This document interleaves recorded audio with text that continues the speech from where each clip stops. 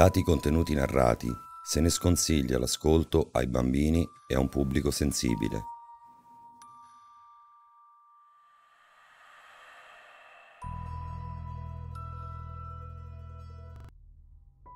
Il dolore alla testa era lancinante. Era disteso sul fianco destro e quando cercò di mettersi seduto, gli sembrò che il cranio doveva esplodergli da un momento all'altro. Provò ad aprire gli occhi, massaggiandosi la nuca con la mano destra. La luce delle lampade a neon gli ferì la vista, dandogli la sensazione che aghi penetrassero le pupille. Non fu sorpreso, almeno inizialmente. Le ultime immagini che ricordava riguardavano un bar, qualche bottiglia di whisky e delle canzoni oscene recitate insieme ad alcuni amici. Gli era già capitato di svegliarsi in posti sconosciuti dopo una sbornia. Aprì e chiuse le palpebre più volte, fino a quando gli occhi si abituarono alla luce. Ancora prima di riuscire a vedere, però, aveva la sensazione che qualcosa fosse sbagliato. Mise a fuoco la stanza in cui si trovava. Non aveva mai visto nulla del genere in vita sua. Dalle pareti e dal soffitto della stanza sporgevano forme a prisma piramidale, disposte su varie file e che si alternavano orizzontalmente e verticalmente. L'illuminazione proveniva da tubi di neon posti lungo gli spigoli del soffitto. Oltre all'aspetto inusuale, c'era qualcosa che ancora non riusciva a capire, qualcosa che mancava e lasciava in lui un vuoto mai provato prima. Provò a concentrarsi, era tutto intero, stava bene fatta eccezione per un mal di gola atroce che gli impediva sia di parlare che di tossire. Poi capì, il problema erano i suoni non udiva alcun tipo di suono, nemmeno il più lieve. Le lampade non emettevano il minimo ronzio tipico del loro genere. Persino i suoi passi non producevano rumore. Prese in considerazione l'idea di essere diventato sordo, ma subito la scartò perché le sue orecchie fischiavano, come succede quando ci si trova in quasi totale assenza di suoni. Si aggirò per la stanza, non più grande della cucina di un piccolo appartamento Perlustrò ogni singolo anfratto, ogni angolo, ma non trovò traccia di una porta o di una qualsiasi altra via d'uscita. Si sedette nuovamente in terra, spalle al muro. Secondo il suo orologio interno dovevano essere passati almeno 20 minuti. Chiuse gli occhi iniziava a non sentirsi bene. In principio sentì una leggera emicrania. Nei minuti successivi questo andò sempre più rinforzandosi e quando pensò di non riuscire più a sopportarla, accadde qualcosa, un suono. Non sapeva dire cosa lo avesse provocato, ma lo sentì distintamente. Si guardò intorno, non c'era nulla. Un altro rumore, questa volta più forte. Non riusciva a determinarne la provenienza e questo non gli piaceva. Una voce, come un sussurro di un bambino. Delle risate che andavano aumentando di volume, ma sempre senza superare un certo livello per poi scomparire progressivamente. Colse un movimento con la coda dell'occhio. Guardò in quella direzione, ma non notò nulla. Strano, pensò. Piccolo com'era questo posto, se qualcosa mi passasse davanti me ne accorgerei.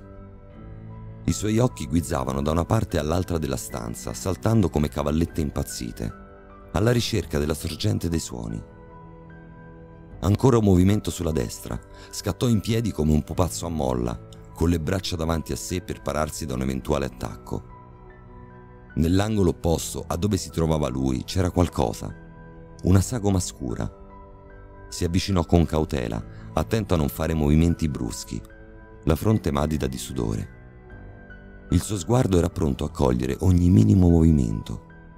La sagoma si voltò di scatto e saltò verso di lui, che per la sorpresa e l'orrore cadde all'indietro e si rannicchiò nell'angolo. Le mani a coprirsi il volto, a ricordare l'espressione di un bambino terrorizzato. Quando smise di tremare, alzò lo sguardo per cercare cosa lo avesse attaccato, ma non ne trovò traccia. Al centro della stanza era però apparso un tavolino di vetro scuro.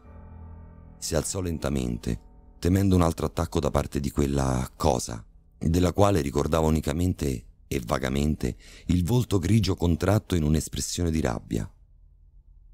Sul tavolino c'era un vecchio orologio a cipolla, simile a quello che suo nonno gli mostrava con orgoglio quando era piccolo. Era di ottone e aveva un peso considerevole per le dimensioni.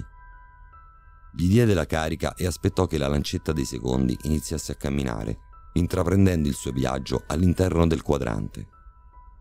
Dopo tutto quel silenzio, il tic-toc della lancetta gli parve rassicurante, ma con il passare dei secondi iniziò ad assordarlo.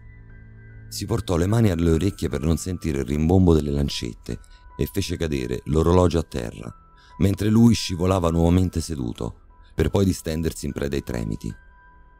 Premette le orecchie così forte da farle fischiare e quando riaprì gli occhi serrati e allentò la presa delle mani, si accorse che il ticchettio infernale era finito. Ora però il suo cuore rimbombava nel petto, talmente forte che pensò fosse sul punto di uscirgli dal petto. Il sangue gli pulsava al cervello, non riusciva più a ragionare lucidamente. Poi anche il cuore si calmò e tornò il silenzio. Quell'assordante silenzio quasi palpabile e che quasi metteva un suono proprio. Si mise seduto e appoggiò le braccia sulle ginocchia, ansimando velocemente e fermandosi ogni tanto per deglutire. I capelli gli si erano appiccicati alla fronte, le guance divampavano e gli occhi erano lucidi e gonfi di lacrime.